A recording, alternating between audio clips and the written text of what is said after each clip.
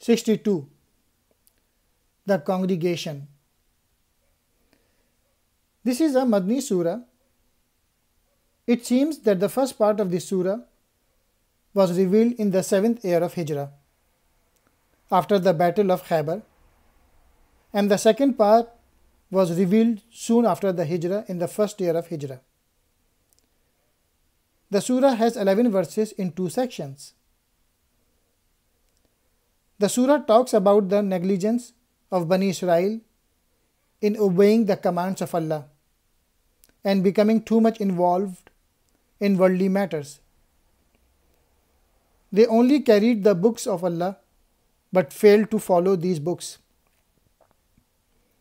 Muslims are urged to observe the Friday prayer and should not get involved in business so much as to neglect the remembrance of Allah.